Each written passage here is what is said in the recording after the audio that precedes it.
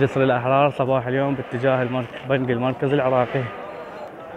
22 11 2019 ذيك المواجهات مثل ما تشوفوها.